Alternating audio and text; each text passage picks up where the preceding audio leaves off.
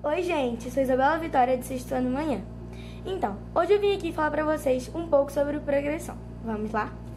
Então, o Progressão é um lugar de transformação, um colégio muito bom e educativo, e recebe a gente com muito amor e carinho.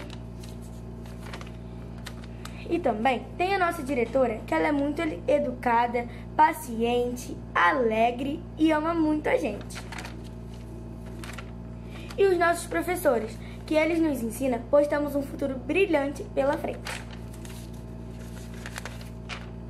As aulas deles são muito legais, interativas, engraçadas, criativas e bem legais.